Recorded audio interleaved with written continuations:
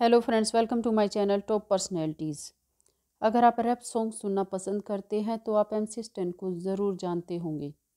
M C stand एक मशहूर wrapper और हिप हॉप सिंगर कलाकार है, जो भारत समेत विश्व भर में अपने रैप सॉन्ग्स के माध्यम से काफ़ी पॉपुलर है। एम सी स्टैन उन व्यक्तियों में शामिल है, जो बहुत ही छोटी उम्र में बड़ी पॉपुलैरिटी हासिल कर चुके हैं।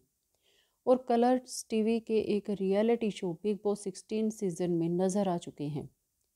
आज की वीडियो में हम आपको एम सी स्टैन के जीवन के बारे में और उनके सफ़र के बारे में बताएँगे।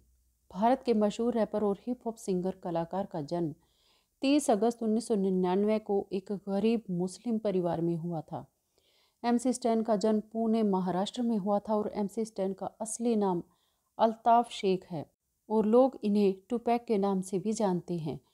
एम सी स्टैन का धर्म मुस्लिम है और एम सी स्टैन की उम्र वर्तमान में तेईस साल है। एम सी स्टैन की हाइट पाँच फीट और सात इंच है।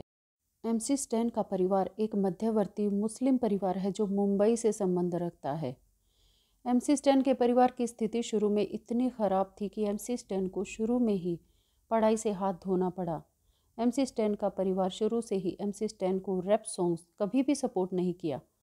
वह हमेशा उन्हें डांटते रहते थे, साथ ही उनके पड़ोसियों रिश्तेदार भी कहते थे कि उनके परिवार की आर्थिक स्थिति इतनी ख़राब है फिर भी वो फालतू के काम करता है। लेकिन एम सी स्टैन में कभी भी हार नहीं मानी और वो लगातार मेहनत करते चले गए जिसके कुछ साल बाद ही उनके परिवार ने उनको सपोर्ट करना शुरू किया और आज वो एक बड़े मुकाम पर मौजूद हैं, जिसके कारण उनके माता पिता भी उन पर गर्व महसूस करते हैं। करियर की बात करें तो एम सी स्टैन शुरू से ही एक प्रभावशाली लड़के रहे हैं। उन्होंने अपने करियर की शुरुआत मात्र 12 साल की उम्र से कर दी थी वो 12 साल की उम्र से कव्वाली गाया करते थे। एम सी स्टैन इतने टैलेंटेड थे कि उनकी छोटी सी उम्र में ही सफलता प्राप्त हो गई। साथ ही वे लगातार इसके लिए रियाज भी करते चली गए उस 12 साल की उम्र में एम सी स्टैन आज जहाँ तक आ चुके हैं, वे भारत और विश्व भर के कई बड़े सिंगर के साथ स्टेज पर परफॉर्म कर चुके हैं। एम सी स्टैन ने अपने करियर की शुरुआत छठी क्लास से कर दी थी। इसके बाद उन्होंने अपना पहला रैप सॉन्ग आठवीं क्लास में गाया था। जिसका उन्होंने वीडियो भी शूट किया था, लेकिन कुछ कारणवश ये वीडियो रिलीज़ नहीं हो पाया। जिसके बाद एम सी स्टैन ने अपना पहला गाना साल 2018 में वाटा गाया था, जो काफ़ी हिट साबित हुआ। वह यूट्यूब पर इस वीडियो को लगभग 21 मिलियन से भी ज़्यादा व्यूज़ मिल चुके हैं। इसके बाद एम सी स्टैन ने कई गाने गाए, और उसके बाद साल 2019 में एमी वे बनताई और डिवाइन के साथ हुई लड़ाई में एम सी स्टैन का भी नाम आ गया। क्योंकि एम सी स्टैन डिवाइन का साथ दे रहे थे और उन्होंने उस वक्त एम वे बनताई पर एक डिस्ट्रैक्ट निकाली थी। लेकिन इन सभी गानों से एम सी स्टैन को कोई भी फ़ायदा नहीं मिला क्योंकि उस वक्त एम सी स्टैन एक बड़ा नाम नहीं था। वहीं एम वे बनताई की फ़ैन फॉलोइंग काफ़ी बड़ी थी। इसी कारण लोगों ने एम सी स्टैन को काफ़ी हेट किया, जिसके कारण एम सी स्टैन की कमेंट में कई प्रकार के भद्दे कमेंट्स का सामना करना पड़ा। उस वक्त एम सी स्टैन ने कई बड़े सिंगर को अपने गानों के ज़रिए मात दे दी। इसके बाद दिसंबर 2019 में एम सी स्टैन ने अपने करियर की स्ट्रगल और अपने बीते हुए समय में की गई गलतियों और अपने संघर्ष और अपनी वैनिटी के ऊपर एक गाना बनाया, जो काफ़ी हिट हुआ। जिसके बाद लोगों ने एम सी स्टैन को एक अच्छी नज़र से और एक टैलेंटेड लड़के के रूप में देखना शुरू कर दिया।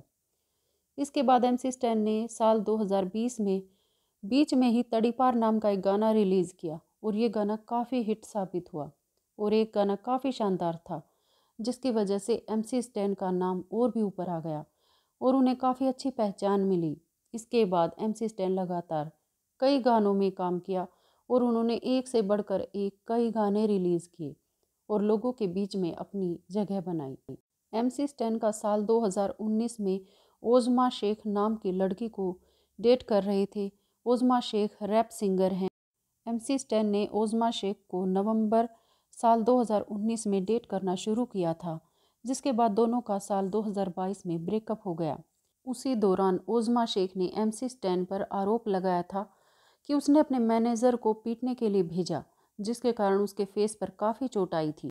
एम सी स्टैन का जन्म ज़रूर एक गरीब परिवार में हुआ, लेकिन उनकी मेहनत और टैलेंट के दम पर आज वे एक अमीर व्यक्ति बन चुके हैं और उनकी नेटवर्थ पचास लाख है।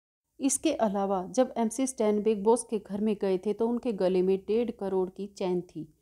वहीं वे अस्सी हज़ार के जूते पहनकर बिग बॉस के घर में गए थे। हमेशा से अपने गानों के ज़रिए विवादों में रहे एम सी स्टैन को साल 2022 में कलर्स टीवी के विवादित और रियलिटी शो बिग बॉस के 16 सीज़न में देखा गया। वो सीज़न एक अक्टूबर से शुरू हुआ था, जिसमें और भी अन्य प्रतिभागी भाग ले रही थी। आज की वीडियो में इतना ही। मिलते अगली वीडियो में एक नई शख्सियत के साथ। तब तक के लिए खुश रहें। Thanks to all thanks for watching bye take care